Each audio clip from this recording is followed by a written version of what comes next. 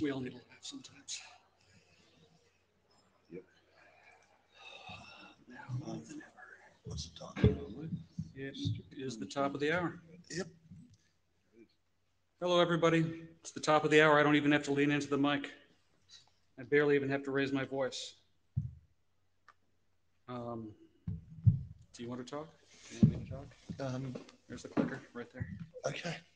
Firstly, thanks all for being here. Um, as per normal, the Note Well, if you are new here, please read it. And if you're not so new here, please follow it. Um, yeah, it's just about, you know, behaving yourselves. I think we can all do that. Um, and then we, you know, obviously have the note really well. I would strongly suggest reading this one as well. And um, yeah, then we have peace and calm, which is all good. Um, the meeting's obviously being recorded. If you haven't signed into Meetecho, please do so so that you can get in the queue, etc. Um, because we do use that queuing system. So yeah. Um, our agenda, we're going to do a bit of an agenda bash in case anybody wants to add anything to the agenda. Um, we'll be giving brief updates from the area directors. Um, and then we'll be getting an update from our routing area directorate chairs. Um, and then we want to talk about the working group agenda items on the agendas and have a bit of a discussion about that. And following that, um, Sue will be giving us a presentation. Um, so Adrian, you are in the queue. Thank you, Adrian Farrel. Uh, this is like a, a meta agenda bash. Um, I know the IETF meeting scheduling is really hard.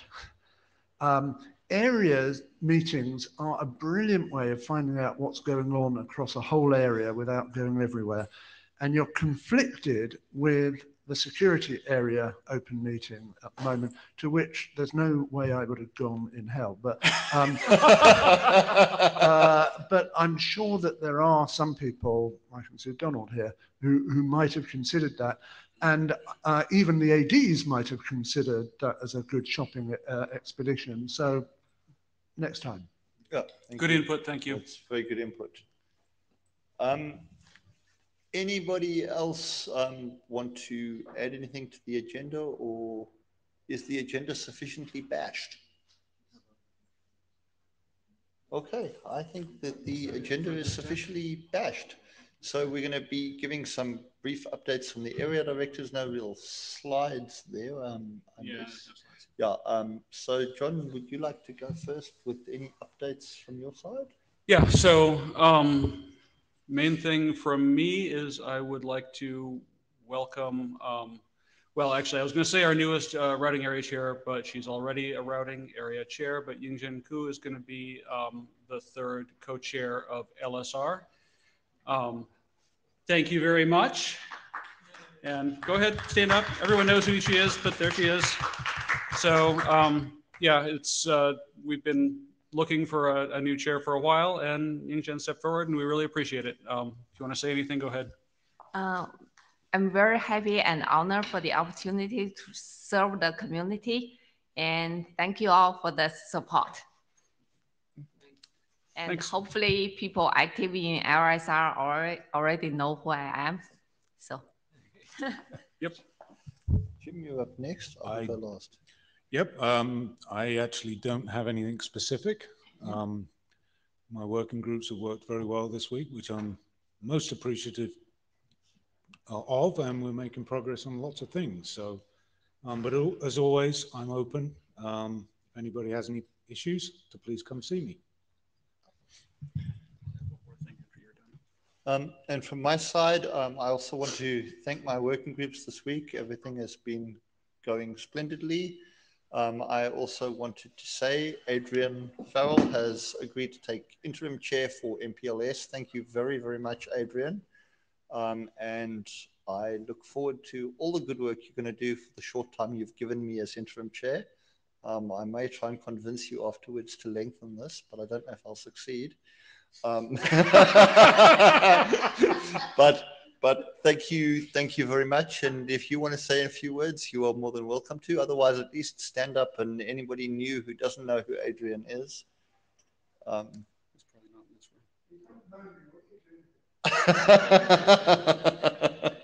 You'll get to know him. Um, yeah, and that's it from my side. John, you wanted to add? Yeah, um, actually, I thought of two things to add. One is that um, Andrew's comment just now reminded me of the uh, story of the, the person who said, I'd like to say a word, and stood up and said, plethora. And the chair said, Thank you, that means a lot. but but that was just ad lib. Um, no, the other thing, the thing I really wanted to say was um, we, we, we keep changing the format of this meeting. Um, you know, we we feel that usually we should have an area meeting to you know bring together frequent contributors and so we can talk about area business. Um, sometimes we've had uh, working groups report out. Um, you know, sort of quite a bit earlier. Um, when I started coming to these meetings, there was always every single working group would go down the, the line and, and report out what their items were. And it, it tended to be kind of a just a version of them quickly reading through their document list um, and then sitting down again. Um, then we shifted to a format where we would ask a few working groups to report out in detail, and I thought that was um, that was more satisfying to me anyway. Um, and um, you know, we talked among ourselves uh, while we were organizing for this meeting, and said, "Do we need to do that?" And decided, no, it, it doesn't. You know, it seems like we've done that exercise within the last few years, and we don't need to to be doing it every time. We should do it, you know, when we charter a new group or have like a large new work item or something like that that we need to um, we need to raise the visibility of. But uh, this is all a, a long-winded way of saying that if you have suggestions um, for how we can, you know, make your area meeting work better for you, um, please, uh, you know, you can use the mic during, you know, now during the open mic time or speak with any of us afterward. Um, that's it. So shall we go ahead then? Yes. Um, first, next on, on the agenda is. Um, we are now going to get a bit of a report on the routing area directorate. Um, Daniel, do you want us to hand you control or should we drive from the side? Uh, if you could drive, that'll be good, please. Okay, that's perfect. Um, oh, and I, I forgot to mention this. Daniel is our new um, secretary for the routing area directorate. Thank you very much for your willingness to help out and join us in this. And to Luke Thanks. Andre for Yes, and for service like Andre for all the work that he did. for many um, years up until now. Yeah. So take it So away. take it away. Great. Hi, everyone. My name is Daniel Enriquez. Uh, next slide, please. Um, You've got it's, it. uh, there we go.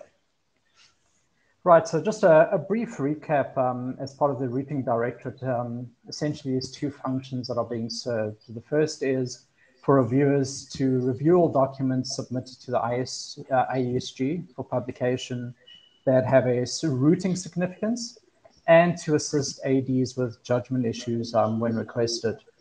Now, as part of the routing directorate, there are currently 43 routing experts that have been appointed by the ADs. And the types of documents that they will review include um, routing drafts as they pass through IETF last call, um, reviews of other routing related drafts at IETF last call, and earlier review of any routing area working group uh, documents uh, before last call. In terms of personnel changes, as uh, Jim and Andrew have uh, alluded to, Luke has been uh, uh, is stepping down. So thank you, Luke, for your your great work and, and great handover. And I'll be taking over as a co-chair. On this slide, I just wanted to include a link to the routing directorate uh, wiki page. This includes um, a list of all of the documents that are currently under review, um, as well as the charter, which is quite important. In the next week, we're going to be cleaning up the, the wiki page um, because it is a little bit, bit behind and also reflects some of the changes that I'm, I'm going to be mentioning in the next slide. Next slide, please. Right, so since IETF 117, uh, we've assigned 13 uh, documents for review, six have been completed, and the average completion time has been 14 and a half days. Currently, we have 14 documents that have been assigned and are under review. Next slide, please. As chairs, we, we really focus on allocating documents to reviewers and we try to do this in the most timely manner possible. So going forward to try improve the process, one of the things we're going to be aiming for is to try get an accept or reject from each reviewer as soon as possible.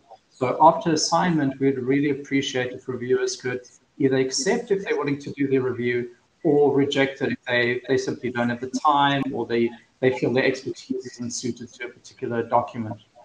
Um, as chairs, you're also going to be hearing a lot more from us. So we're going to be following up in terms of can you accept or reject a document? Um, we see the, the deadlines approaching. Do you feel you're going to be able to meet that deadline or not? Do we need to adjust it, etc.? Next slide, please. One slight change in terms of reviewer assignment. So one of the issues that, that I've noted is we run through a scenario where documents assigned to a reviewer for review. The reviewer doesn't acknowledge that assignment for a prolonged period of time and then either rejects it or we simply cannot get hold of that reviewer. So going forward, what we're going to be doing is each time we assign the document for review, it will be accompanied by a mail by either myself or the co-chair to inform you that this document has been assigned if you do either accept or reject it. Secondly, each reviewer will be given seven days to either accept or reject an assignment. If we don't hear from a reviewer for seven days, we'll presume they can't um, review the document at present and we'll reassign it. And just a reminder at the bottom there, you can see in Datatracker, there's an accept or reject button. That's essentially what we're asking you to do. And that's it from me. Okay, if you don't mind, I'll add a comment, which is um, it's much better if you're not going to be able to accept the assignment to just reject it right away. There's, you know, no moral failing if you reject it, not a problem. Uh, we all have bursty schedules and don't always have time to do the review. So if you uh, reject early, it lets um, the chairs move on to uh, the next person in the queue, and it's much better that way. Thanks a lot for the presentation. Yep. Thanks. Anyone got any questions um, for Daniel? Okay, another one in the queue. So.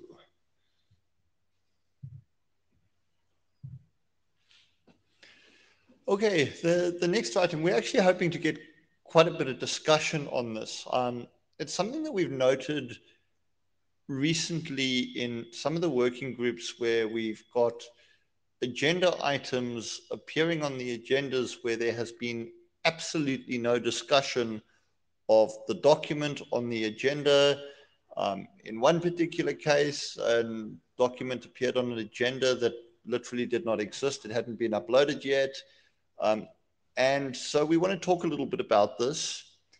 Um, as I said, there's there's been a notable increase in documents on agendas that have no discussion on the working group lists, and the the working group time in person is is limited, and we need to use it in the most efficient way to help move work forward. Um, so we have a bit of a proposal that we'd like some discussion on. And we're basically saying that drafts should only end up on working group agendas that have had discussion on the mailing lists prior to the working group uh, agenda item cutoffs. So effectively, we want to see some discussion on the mailing lists of the documents before they consume floor time. Then, in addition to this, if working groups want to bring in external presentations for people, we've seen this a couple of times where they've seen something that they've thought is worth the working group hearing, etc. We'd like to have those slide decks sent to the working group in advance for some discussion so that people can take that and absorb it and have a meaningful discussion um, on the floor. We could have done this. Yes. Go ahead. Um, um, go for it. I was just going to add the comment that um, if anybody would like to point out that we failed to do that with um, the invited presentation at the end of this uh, meeting slot, you know, mia maxima culpa.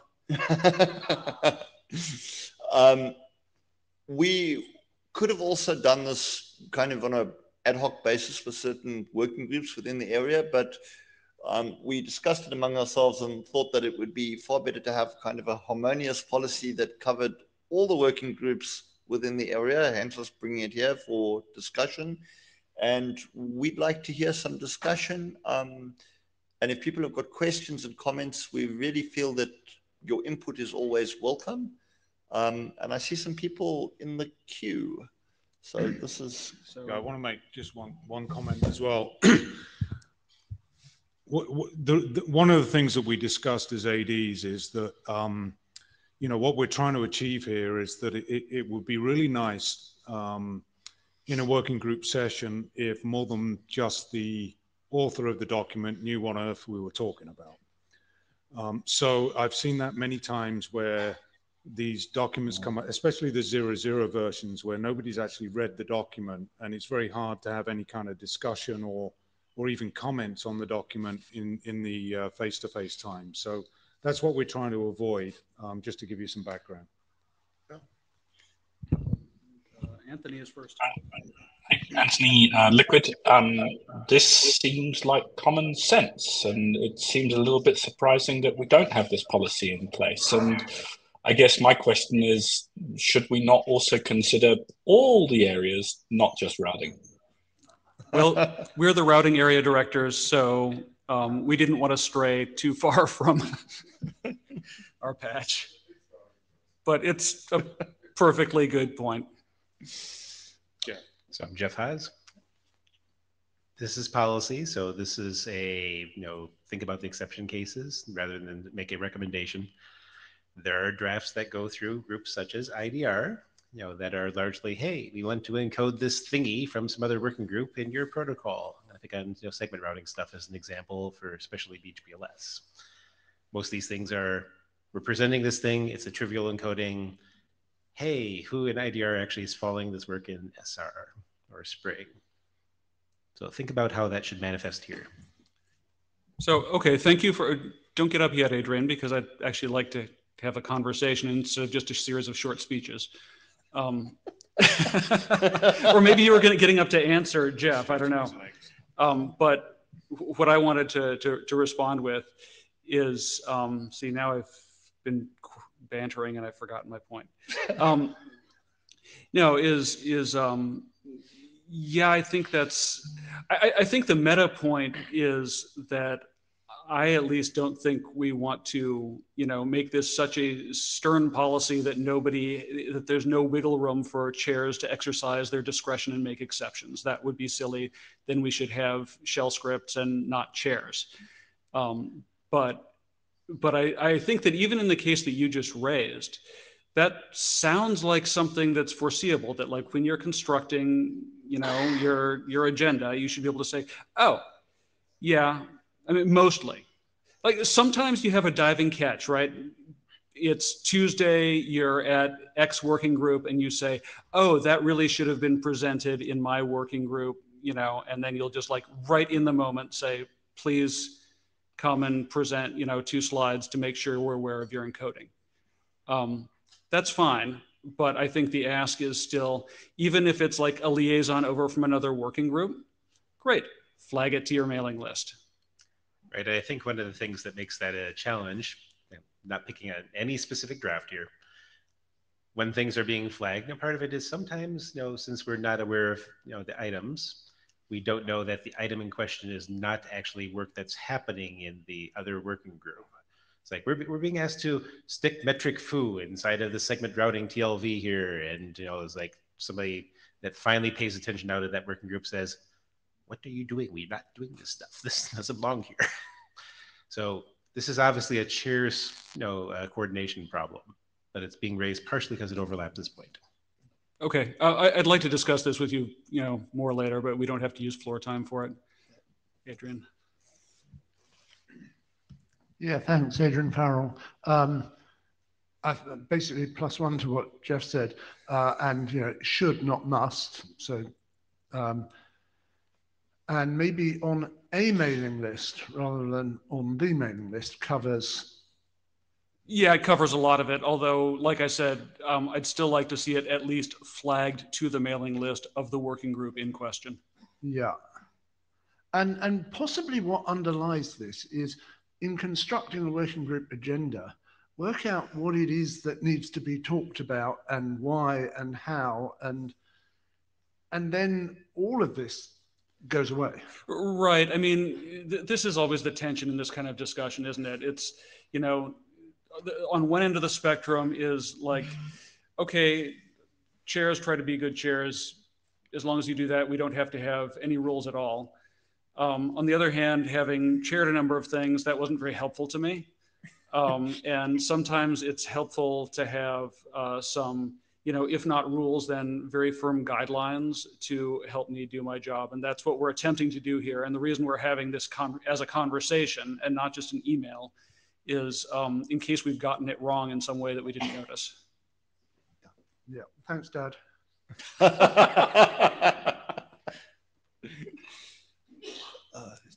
uh, Tony Li is up. Thank you. Uh, Tony Li, TBR co-chair. Um, I've got a somewhat reverse problem. Um, folks in my working group tend not to do much on the mailing list, and they seem to be much happier commenting in person, which only happens when we are giving a presentation. So this seems like a chicken and egg problem. Uh, how do I get around this? I, I, I, don't know, chair harder. No, that's, I'm, I'm, I'm not serious. Um, yeah, it's, it, it is a problem. Different communities have different, you know, ways of working. And if your community's way of working is really to do everything in person, um, then you're, you're the chair, use your discretion, make your working group productive, uh, kind of what Adrian said. Um, all of these are guidelines and not hard and fast rules. But I mean, yeah, mailing lists suck. They're just, we haven't come up with anything better. Yeah, I, I mean, I just think just to add to what John said there, as as we've said, I think repeatedly, these are these are guidelines, um, and they're simply guidelines to to try and get that additional discussion. Because as I said, we have seen a lot of times where documents are coming that nobody's read and it it does eat a lot of floor time and then you get agenda items that fall off that could have actually you know used real agenda time so that's simply the goal. But yeah discretion as the chair. Uh, roland. Yeah roland bless KIT. Um, I, I fully understand the the idea behind that. Uh, I was asking myself whether it is probably a difference to make between the RTG, WG, like, I mean, that should be open for new work. And I try to bring new work to the IETF, and that could become harder in case, oh, you can't present that because there was no discussion on the mailing list. So I think sometimes you should at least have some slots available for even if it's only five minutes to pe make people aware that that works much better in in meetings than just writing an email to their mailing list. Okay here's the cool new stuff. No one reads it and and even though i presented it one year ago so there's still people not understanding it. And so raising interest is not that easy and i i would actually yeah. So I'm in favor of prioritizing the real work that the working group has to do. And so I fully understand if charter items have priority, but don't exclude the possibility for new work. Um, Roland, what I will say is just a, a comment on that, and I, I fully see the point 100%. I think that by ensuring that where we've got drafts, um, that are getting discussion versus drafts that simply aren't and adjusting the agenda item accordingly. I also think we'll end up making more space in that limited working group time for items like what you've raised here. Because at the moment, if the agenda is getting really full and you're getting certain items on there that are not getting any discussion, you end up eating up all that time and then those opportunities are reduced. So I think it's something that we do need to think about, and I'll certainly chat with my fellow ADs, and you know, as we write the guidelines, um, we'll be cognizant of that. Okay. Hi, Lou Berger. I'm really happy I'm following Roland because that was my second point. Is is that uh, we really want to not exclude new people and new thoughts and new ideas. And I'm a little worried about the second, how the phrase, your phrasing of the second bullet. And I would say if you could modify that to, uh, instead of external presentations, say new drafts or new drafts and external presentations. Yes, and I think, I think they're two separate points. I think that the external presentations are, we've, we've got some items where, for example, in one of the working groups, they saw someone had done something cool with Tavino and they wanted to bring that in to share it. That would be external. So new drafts and external, I think they, yeah, it, the wording there was addressing the one case, it probably needs to address both cases. uh, that that's uh, separate is is probably better. Yeah. Um, uh, I don't. I'm not in a lot of working groups that have time for that, type of external information. Hmm. Uh, but worrying about new drafts, new ideas, and in particular new contributors, and allowing for them and giving them space, I think is is like super critical. In fact, you know, we all know new people are the hardest thing to bring in. Yes. And so- Okay, yeah, I, I- I'd like to say that, um, you know, sort of the, the spirit behind this, and we may have got it wrong, is I think about really two things. One is, um, you know, with, with zero zeros especially, and, and this is more like, you know, not, not the brand new idea that needs to be socialized. It's just, you know, don't, don't submarine your idea until the last day and then, you know, pop it out, you know, right as the cutoff hits and then expect to get useful work done. It's it's not a good way of of working. And and you know, everybody's deadline driven and this is basically a way of saying let us help you be deadline driven in a way that's more productive for everyone. And then as usual, I forgot my second point. Uh, I, I got to tell you, I, I actually love the suggestion or the, make it a rule that zero zero or new material that's not been discussed needs to be submitted a week in advance. You know, I'm I'm you know week before Monday. You know, you know, uh, and give for there's so time there's time for adequate review before the meeting. I think that's a fantastic idea. I really like that one. And I, I- think we'll, I think we'll have a follow-up discussion on, you know, we'll, we'll schedule a, a working group chairs chat. And after we've had a chance to iterate on this and, you know, then have a follow-up. But it seemed like, I mean, this is not just a working group chairs meeting, this is an area meeting and it potentially touches anybody who contributes to the area, which is why we wanted to first float it here. Yeah, I'm sold on, on that one. Um, the one added point I'd like to bring up is something I think it was either I think it was Chris Hopps, not AC, but he was co-chairing, who said they're going. They were thinking about running an experiment where they would stop the time early to leave a few minutes for discussion. So I ran with their idea and have run now three sessions with that approach. And I really like it. I think it's really helpful. So steal a little bit of time so that the timer expires, but then you have a few minutes left over for discussion. And it was not my idea, but I, I've run with it and it seems to be working really well. Best current practice. And- Lou, and- Lou, I just want to, uh, just, just a comment from my perspective on the zero zero drafts.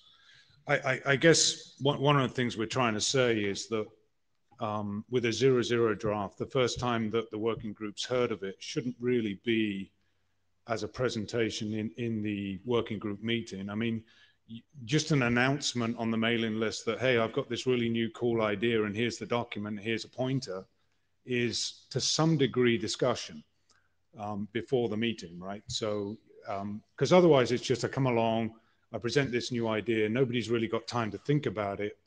Um, we could have done that earlier, and that's kind of what we're trying to achieve. That um, that allows us to at least have a little bit more input in the working group session itself, if that makes sense. It, it does, and we we've done that sometimes. I, I can't say we're perfect and do it all the time. It's probably in, uh, the minority that we've done that. Uh, but there, it's a, we've seen it always met with dead air. So I really like the idea, and I have not had that one before or done that one, but uh, the idea of saying send your presentation a week before, and yeah. I, you know, it, it's a chance. It, it, it, there's still a barrier to entry to opening a document and reading it. Slides or less. So I think it's a great idea. Yeah. Sue. Does this policy uh, restrict interims? Sometimes what we've done is we've had a new drafts interim. It's announced as, hi, we're going to give new drafts a chance to get online. People know it's there. You're not in person. You're picking up chance for people to try out their thing. Do you want new drafts announced on the list a, a week before we do that? We usually have our agenda set up that, but how firm do you want to be on that one? Um, Sue, thank you very much. I don't think that's something that we actually considered, and this is this is really why we we like a conversation like this because it brings things to our attention. Um, I think we'll we'll talk about that amongst ourselves. Um, obviously, I think that even going into an interim, if there is some notification of something, so that people actually come and you know can look through and go, well, I've seen this, I want to go and discuss it. From my perspective, is is helpful to actually encouraging people to come to the interims. But I think we'll have a bit of a discussion on that um, and then revert back to you on it. But thank you, that's a really good point. Is, is it Acee? I think I'm next. Yes. Yeah, yeah. So Acee Lindem LabN. There's a, a couple things I'm going to say. We we used to have a separate deadline for zero zero drafts. Remember where it was before the the the absolute deadline. So may we and the other change that I might like to see, I would like to see. Of course, my list doesn't get that much traffic. Would be for not just the working group documents, but any document for LSR to go to the list. That I think that would be useful. You know, if somebody submits one that has a, you know, you know, if the right, you, you know, that it just goes to the list and it kicks everybody's, you know, brain in. But I, am unclear about what you're saying. Are, are I'm saying, saying, when that, like, somebody published, some, yes, yeah, on, on the string LSR. LSR hyphen, yeah, well, label switch router, I guess. But uh, how how about you? You can come up with a regex that matches on somebody's, you know, somebody's name hyphen LSR hyphen, you know, and and and and if if the person is named the draft right, it's it's going to go to the list. Right now, if it's a working group document and somebody republishes it, it goes to the list automatically. Right. But I mean, you, but I period I periodically look at them. But if it's something I I'm not that excited about. I kind of let a sleeping dog lie. I look at it and I say, hmm, you know, are they going to ask for to present this? But invariably, me doing that, it, they do anyway, you know, but but delay anyway.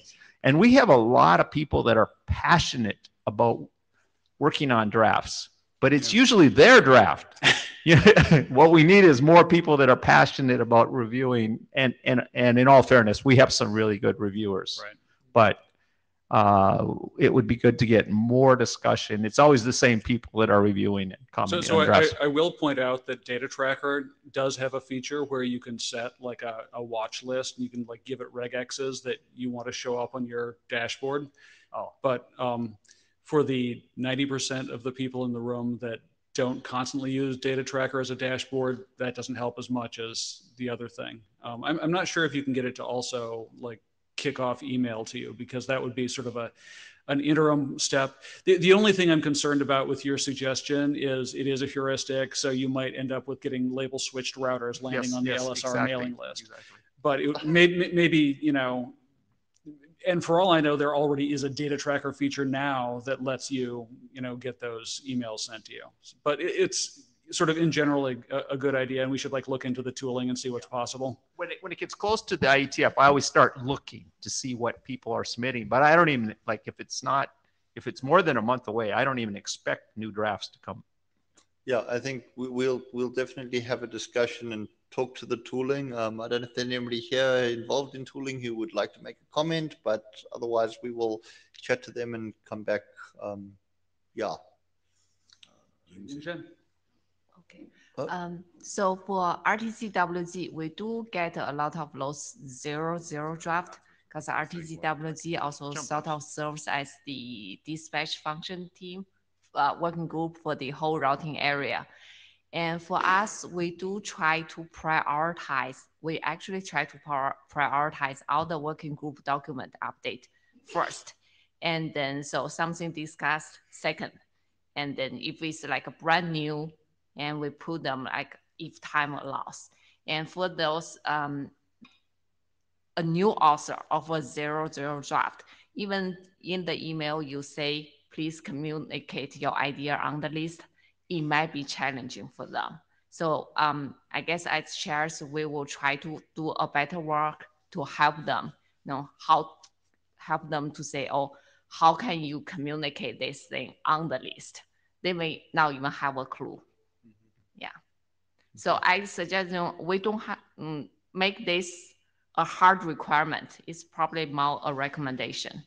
At least for us, that's probably yeah, I, I think it's a very firm recommendation, though, and and maybe we need to have a longer discussion with you offline if you think that, like, it seems to me that that really almost any author should at least be able to send an email to the mailing list that says, you know, dear routing area working group, Yeah. we have published this We- zero uh, draft. Please that- take a look. That as share, I guess we can make sure that will happen in the future. Yeah. Um, Lars. Lars, like a Datatracker power user, uh, jumping the queue. Thank you, Tony. Um, if you use that feature in the Datatracker, there is a button on the bottom that says "Send me email" when any of these drafts see new revisions, and then you get an email, and you can even pick which email address it goes to. Thank you, Lars. So that's a revision. Yeah, yeah, yeah. No, no, but it That has been done forever. Um, Tony P. So I had a beer and missed a lively meeting. What a change. Um, so the first thing is um, I look for a polite term, harebrained. Uh, uh, I can't force a discussion, right? And very often I have an update on a draft where people just crank out a new version. It's very interesting to see what they were cooking. Um, so I can't force it. Interesting idea, but I don't think you know it's neither here or not there. Uh, second, yeah, I'm all for it, right? We should get the time frame. It should get you know the material, and not present without a draft as a policy. Absolutely. Um, if you want more participation, people on the drafts, lively participation, make the blooding authors list longer. Okay, this is now a, such a big forum. This is not like five people cranking out stuff. These are becoming big exercises. Make it a page long, like any reasonable standard. Okay. That's the simplest thing to get more people getting exciting work on it rather than ending up with some you That- know, that- obscure that's very interesting. Um, and I'd be interested in like offline feedback or whatever about whether other people think that like just taking any back pressure away from author list length will actually get us uh, That's more maybe engagement. overly generous. Well, okay? that But basically make what it the said, man. second page, you know, of the draft. I mean, look at like big ITU standards. Look at like old ATM standards. Right. No, but those those are heavy 400 pages stuff that was running the world in the serious world, right? Those are those are page long of contributors. Look at today's modern science papers, right? Teams of pages of people. This complex stuff. There's a lot of people. People want recognition, and we have this no this this elbowing thing. I- Cost us nothing. I, I, I will say, Tony, I, I also find that, that feedback very interesting. And I would say to everybody in here, if you've got more feedback like that, um, I'd certainly be interested to hear about it. I'm sure the rest of the IESG would be quite interested to hear this too. Um, and I would encourage, um, you know, you guys to let us know if that is how you feel. Um, you can go the opposite way and say one author per company. I think you should just open it and make it a page. Okay. Yeah, we we don't participate as companies. Let me remind you. Yeah, it leads to another discussion, right? that we had already. Okay. Like, I really didn't think I would go twice to the microphone uh, in this group. so, so we we've had situations in the past, and I forgot which area it is, where the front page of a draft was basically used to indicate corporate support. And and and it was more ma- many more than five on a document that had many fewer than five pages. Um, and and the, the reason was simply that to, to show that right and and that is sort of a problem that we would re-enter maybe if we open it all up but it, it is a continuous discussion and and we So should have can it I, can I ask? Yeah. Um, on that draft, with the, you know, more than twenty people on the front page, was there like a tremendous amount of engagement on the mailing list and in the working group, um, in discussing it? it wasn't in my area i only saw it when it hit the Okay. isg sorry Yeah, and I, I, I also just want to kind of add to what Lars has seen. One of the things that I, I have seen is people putting 20 authors on the page, and in one particular case, asking one of those people to come and present the draft that he was on the front page of. And within about three minutes of the presentation, you realized that the guy who was presenting hadn't read the draft himself and it was being used clearly as a build-up support to show that there is support for the draft. So there is a tension here, and I think that it is something that we are constantly discussing. There is a lot of discussion about it, um, and we welcome feedback. And you know, we've got to see if we can strike the balance somehow. Yeah, so it can go both ways. Sorry that I'm jumping in, but it's, I mean, it's a very relevant discussion for the future of this whole thing exercise. It can completely take any value from the autos list padding that we have now, right? Which is used as a tool, and we all know it's being played, right? So all of a sudden, like, yeah, well, everybody can have a page. Whoever cares, right? There's a page of authors. it may go the other way that it becomes even more combative, right? Look, I have a really a page full.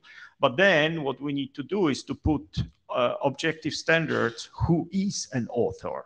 And we have to put those drafts on the Git and have a Git history, which of course can be gamed again. Every game can be played. Uh, no, we just have to make the game harder and more objective and make aware that if we catch people, there are consequences, right? Uh, uh, no perfect solution, but what we have now sucks. Thank you, Tony. I think it's sneak one in. I, I, I, a lot of times, I mean, it depends on the draft. In, in, the, in the matter of consensus building and combining drafts, the five offer list doesn't make any sense because you have gone through a lot just to get the two drafts merged. To all of a sudden push everybody off after that big effort. I'd rather fight with the ISG on the number of offers than open it back up the consensus that took a long time to gain. Yeah, um, just just one comment on on that. When I've looked at what the the current recommendations draft says, there is, you know, in, in the case of there being more than five authors, which is what the current document says, there are two options. You can appoint editors, or you can potentially get an override to have more authors on the document. But if you go beyond the five author limit, then there needs to be a justification. And I think that the justification of mergers on documents is a perfectly suitable justification. Where it becomes a problem is when the justification in the shepherd's write up or from the chairs, etc., comes back and says, well, because the authors wanted it that way. That does not qualify as a justification. So That's a quote. Yes, that is an actual quote out of a out of a document that had a number of authors, um, and so yes, there are obviously cases where there need to be more than five in the cases of mergers, and I don't think anybody is denying that. But I think that there has to be some kind of you know limit on have you actually given a proper justification for that, um, and it's not a case of well because we want it. Uh, Daradan Potter. Uh, I'm, I'm going to phrase this weirdly in reverse. Please bear with me. Uh, if by allowing or making it easier to be on an author list of um, a draft slash something become an RFC has this, well, if, if, if that is a effect of, of changing this, just making it easier to become an author, um, there is a effect of this that I would very much like to see, which is it will work against the practice of people getting bonuses for getting their name of an RFC on an RFC, which I think is a very counterproductive practice. And if it's easier to get your name on a document, that will hopefully make this practice less likely to keep working.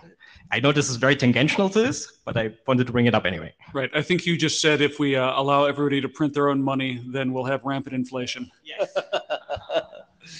Lars, welcome back Again, for yeah, the I- third time. I should I should come to this meeting more often. This is really actually not as bad as I thought.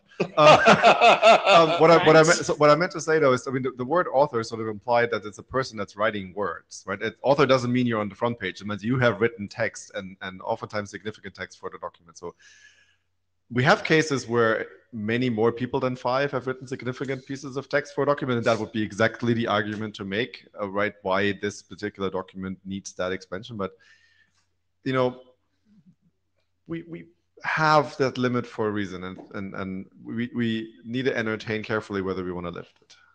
We've we've you know we've seen internet drafts where the first page on the old ASCII rendering was just names and affiliations. Yeah. Tony.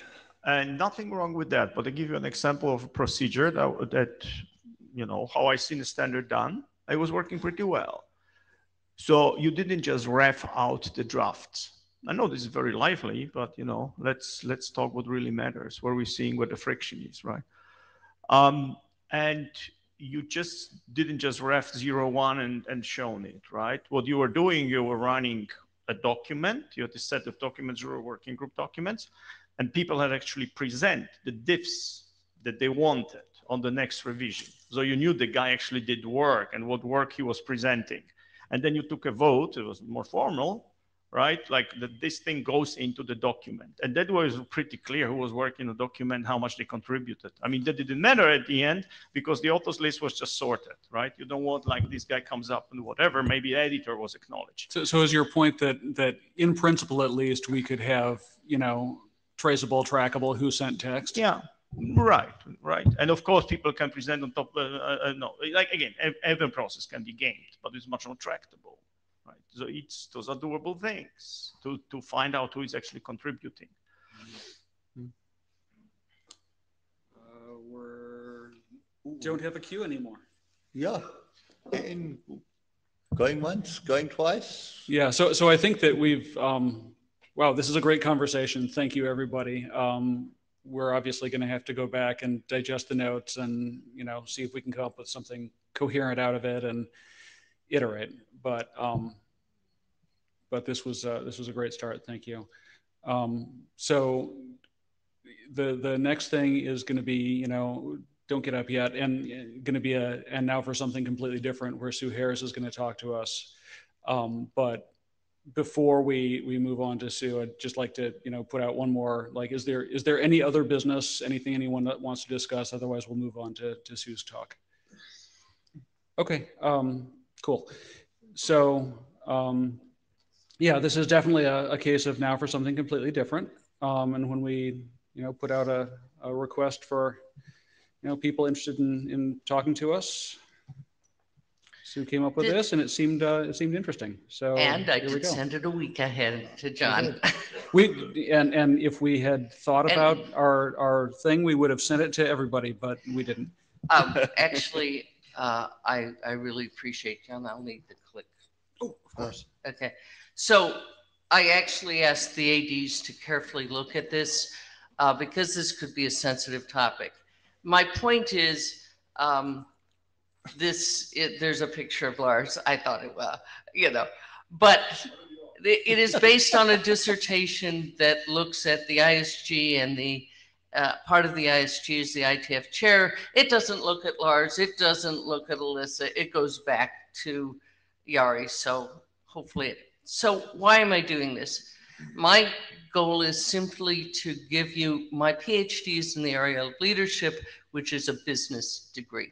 Okay, it's standards organization, and this is my dissertation. But some of this is just my comments as a chair who's been chairing a long while.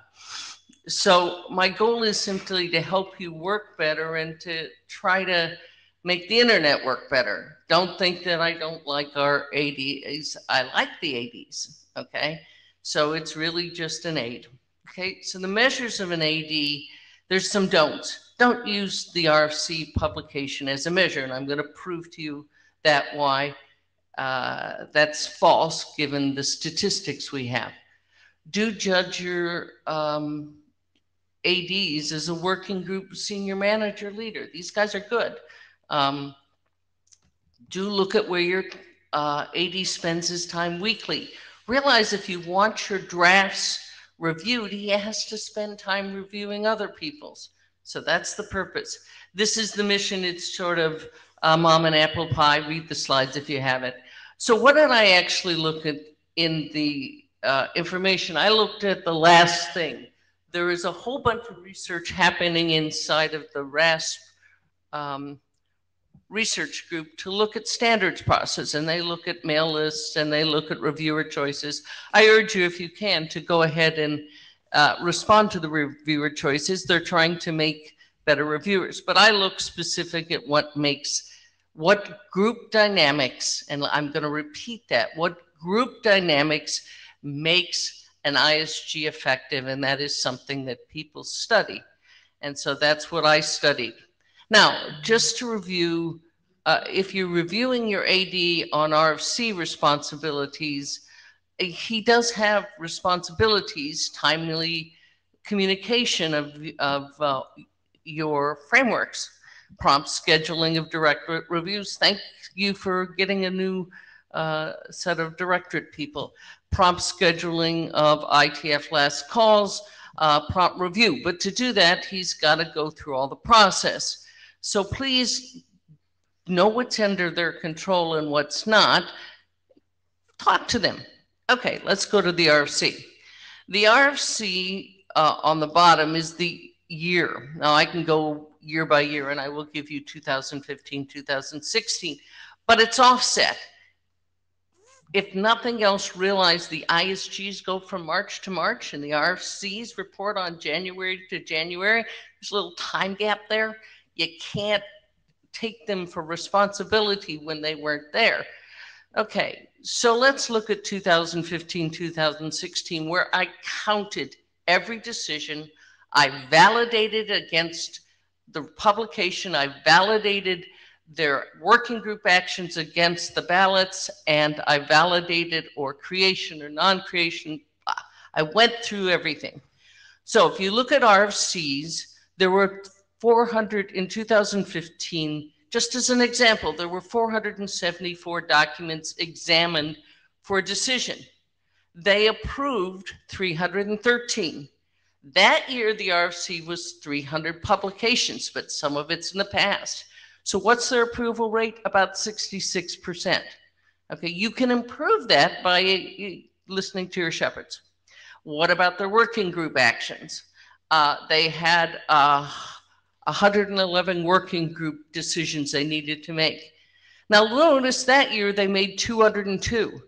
Uh, that's the year they redid the art area and they had a high rate because they'd been talking a lot about it. What about management items? What's a management items? Your RFC IANA, if it goes to the ISG, if you're looking for an early allocation, and they approve about they approved about 47%. So that's about 800 uh, 820 decisions in about 26 meetings. They are cranking. Okay, 50, 58% docs, 14% working groups, 35% management. Now let's look at 206, 216. Again, 66% of the working groups were uh, documents were approved.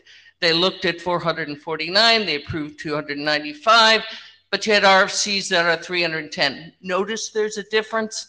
Again, they approved about 86% of the working groups. They've usually talked a lot about that, and they approved about 44% of the management items. So notice there's a lot they're cranking through every week. So the RFC actions, notice they have a lot to do. They have to review the documents, they have to, that's what they usually do on their work week that ends up being the ISG formal. You can see that. Okay, your leader is a manager. You all have seen the Dilbert, you know, pointy hair. but you can ask your AD, are you being a good manager or leader? It's a discussion. You don't get very far at work if you don't talk at your manager or leader. Please do. Um, a good manager and these guys try really hard to listen to working group chairs and participants. Know the working group drafts before they review. If you go ahead, you can let them review it by publishing it a week ahead.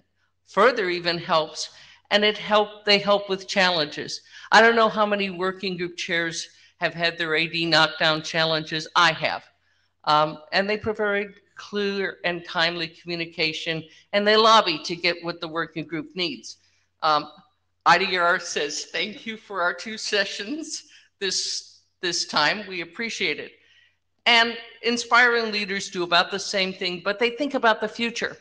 How many, you know, when you hold a BOF, these guys spend a lot of time prepping that BOF and they decide what needs to change. Now, this all may be mom and apple pie, in which case you're an old chair like me or some of the other folks here, and you know that. But do ask if your air how your AD is growing the area.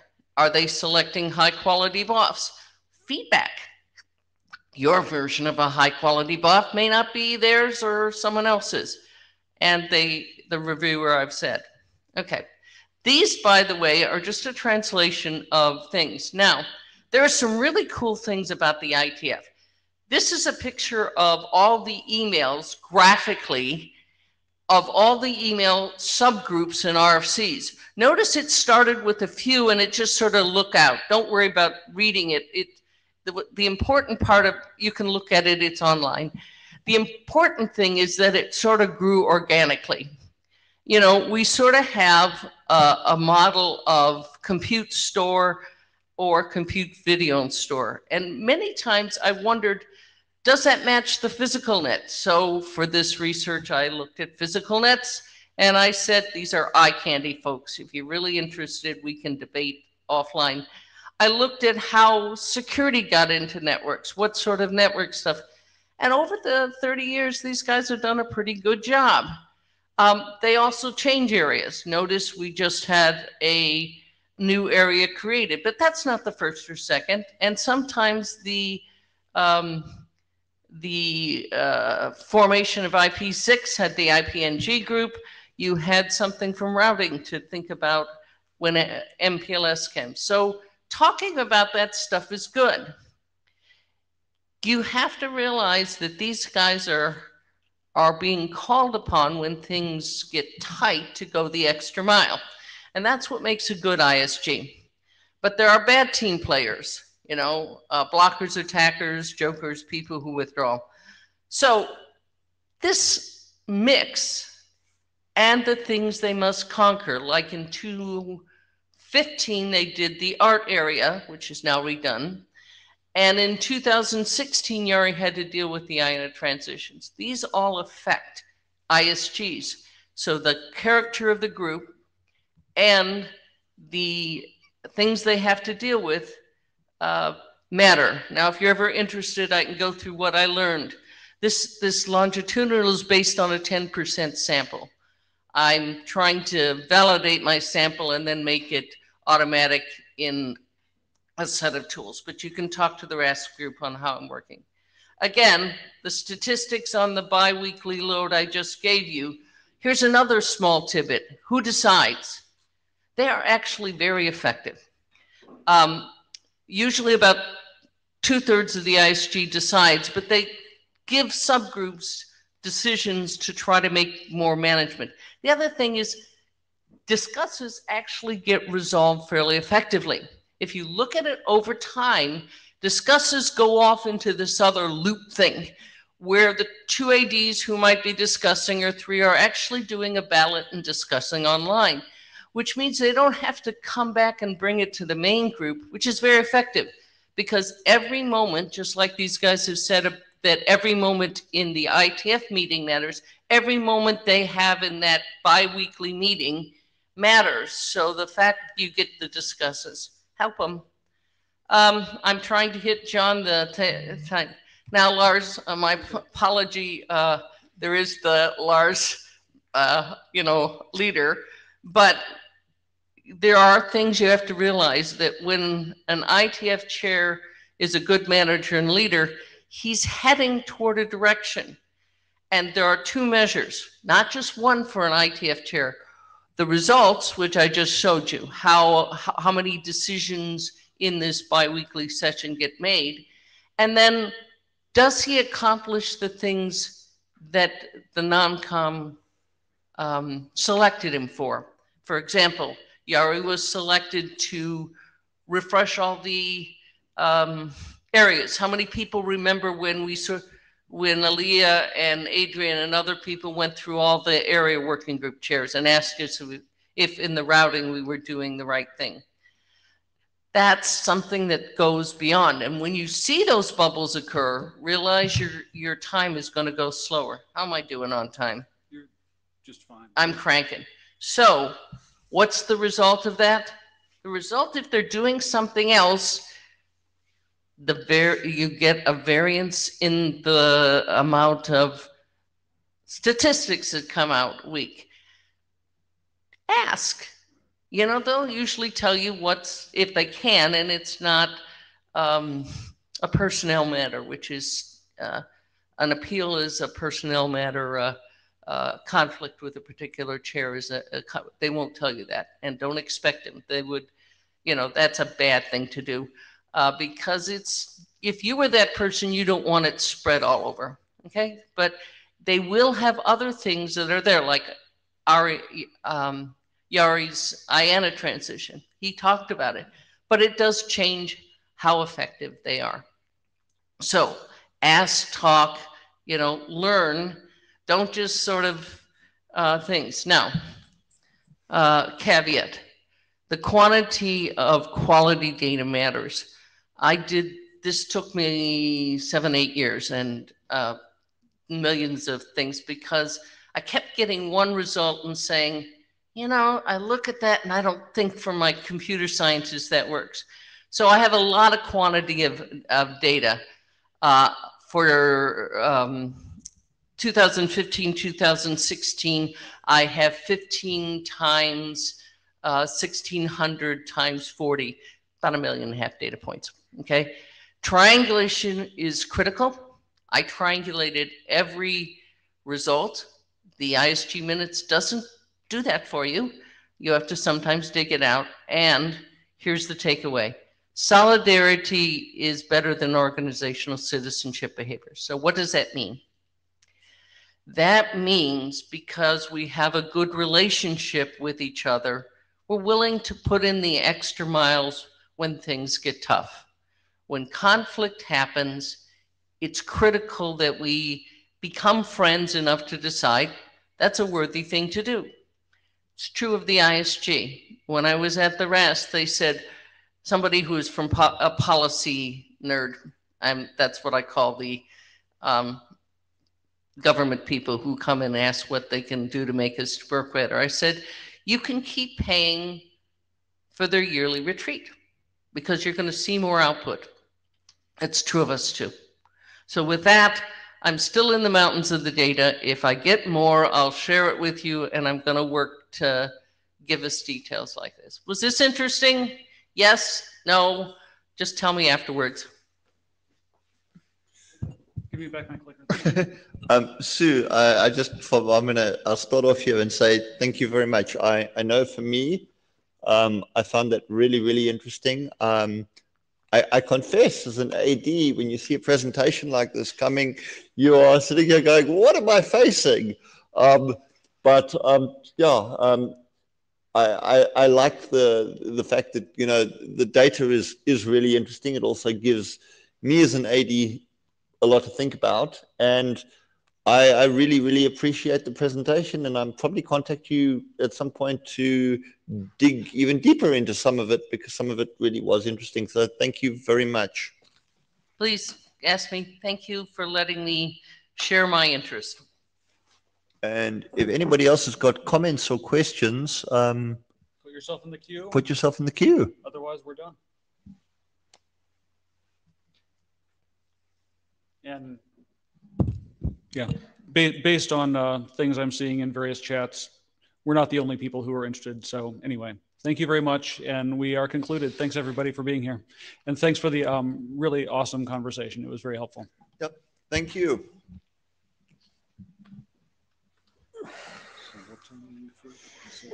Um, seven thirty. That was a- it was the first time I found a